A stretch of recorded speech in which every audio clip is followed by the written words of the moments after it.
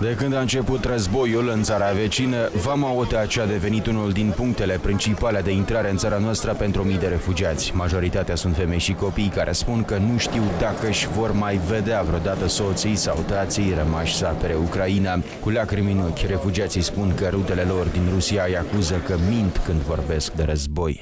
I have my brother. He lives in Moscow, and he does not believe uh, nothing I say. He says it's fake. Uh, he, he does not believe me, though he's my uh, one of my closest uh, relatives from Russia. Part of my family is from Russia. My uh, father is Russian. I have lots of relatives there, but they do not support us. They do not think that we have troubles. They say everything is fake. O femeie din Kiev a ajuns la Vama Otaci după două zile pe un drum care se face de obicei în șase ore. Soțul ei a adus-o împreună cu copiii, apoi a plecat înapoi să se înroleze în armată. Dude, my husband was very awful because we do not know if we're gonna see him again. Femeia a fost uimită de ajutorul acordat de țara noastră. Ea spune că propriul ei tate, care locuiește la Moscova, nu o crede când îi spune că rușii au invadat Ucraina, iar vama Otaci e plină de refugiați, ale căror vieți au fost date peste cap de război. З Могильова прийшла її провести.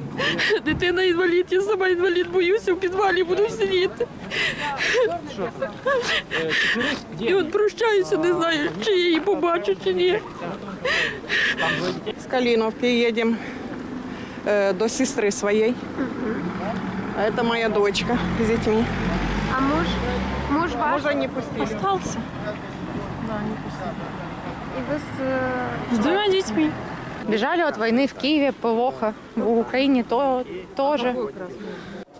Voluntarii spun că în ultimele două zile fluxul de refugiați a crescut enorm. Aceștia au amenajat câteva corturi unde oferă hrană, caldă, apă, ceai și alte produse de primă necesitate pentru cetățenii ucraineni. Tot ei îi ajută cu transport și cazare gratuită. De cealaltă parte, în timp ce moldovenii fac eforturi supraomenești pentru a ajuta pe refugiați, voluntarii de la Vama Otaci spun că șoferii ucraineni trec vama cu mașinile goale, fără să oprească pentru a-i lua pe conaționalii lor care se deplasează pe jos. Voluntarii moldoveni fac apel către ucraineni să rămână solidari.